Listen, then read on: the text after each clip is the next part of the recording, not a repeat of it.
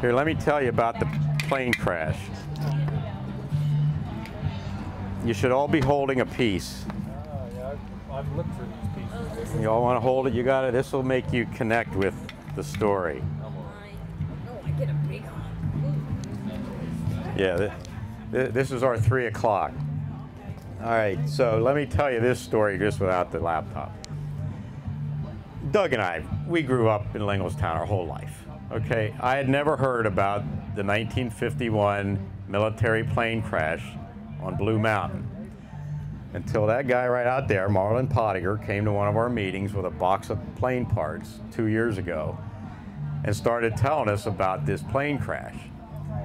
And we're like looking at each other like, really? And you know, I don't think he can hear me. Part of me, you know, I'm like, is Marlon telling the truth or not? you know, like, did this really happen? But he, when you talk to him about it, he's very graphic in his mind what he saw.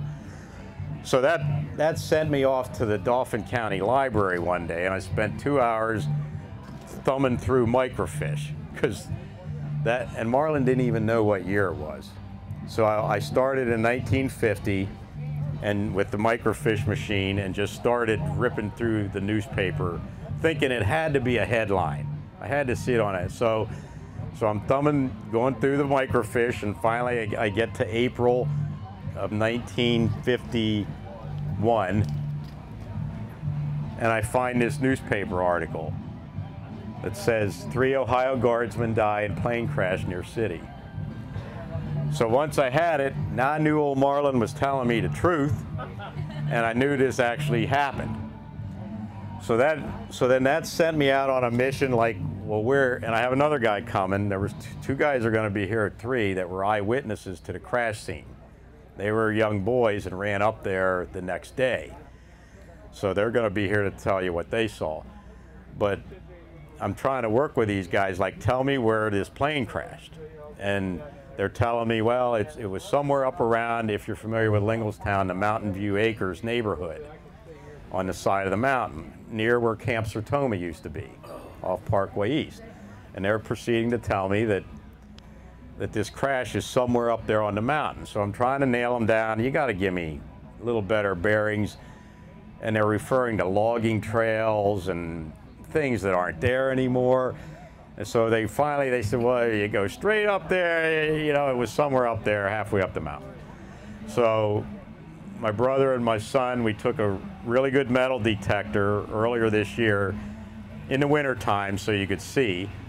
And we spent a couple hours traipsing around the mountain up there with this metal detector. And we're actually ready to give up. We, we had made a big loop and came, we're coming back to the car because we thought it's a wild goose chase, you know. And all of a sudden we started getting aluminum hits with the metal detector. And literally the first one, I have it in a bag here, we just brushed the leaves away with our foot and there was a piece of metal. So now I have an idea of where this is on the mountain. And all, in fact, all these pieces I, are pieces I found this year yet. And the story is it was a Ohio National Guard training flight from Columbus flying to Newcastle, Delaware. It was a very foggy, rainy day. Somehow they got disoriented in the weather. Have no idea if they were trying. Back then, Olmsted was an Air Force base, you know, Inter- Harrisburg International. So they never made radio contact with Olmsted. They were flying, and you from Columbus to Delaware, you can picture that in your mind.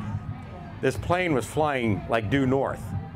It flew right over Linglestown. We've had people at our meetings that's, you know, their family saw this thing fly right over Linglestown, headed north towards the mountain.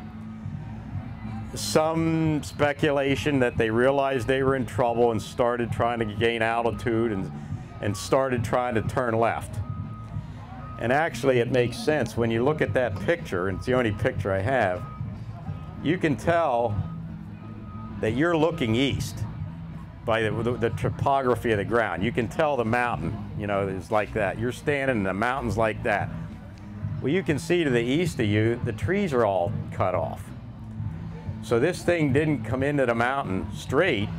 He was actually turning westward. And uh, it, it's amazing because the news reports said people saw it flying at about 500 feet. What's amazing is where I found these parts is about 900, 1,000 feet above sea level. Linglestown's about 400 feet above sea level. So it's amazingly accurate, the 500 foot thing in the air. And uh, they were disoriented, didn't know where they were, and literally flew into the side of the mountain.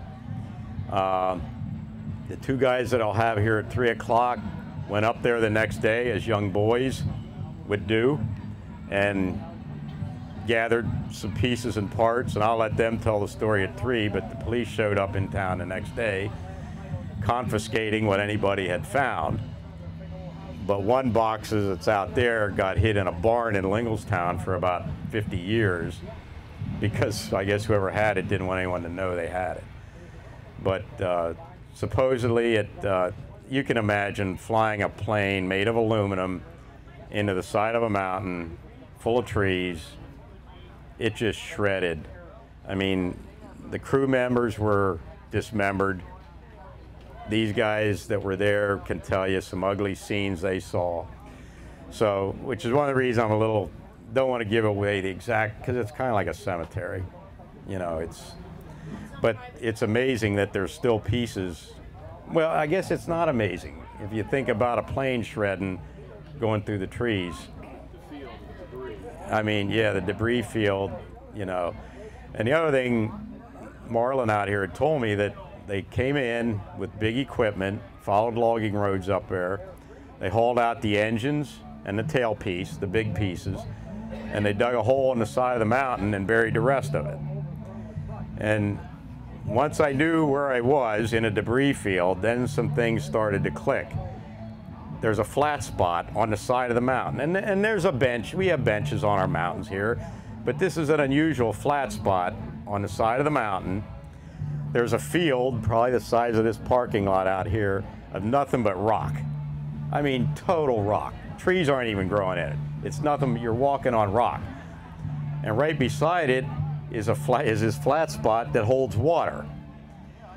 So I got to thinking, well, is this where they buried the debris? So we took the meter around it and got hits all the way around it and up the mountain from there. So I, I know where the b- debris field is.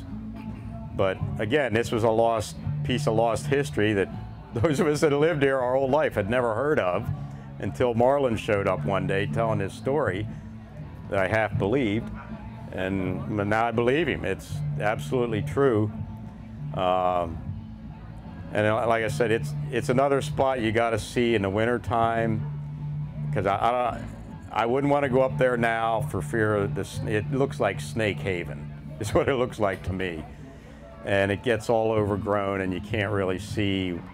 But once you realize what you're in, a debris field, you see strange piles of dirt as if a bulldozer just dumped, you know, like why why is this big mound of dirt here on the side of the mountain? And then you start finding little pieces in it. And uh, so yeah, that's the that's the plane crash story of 1951.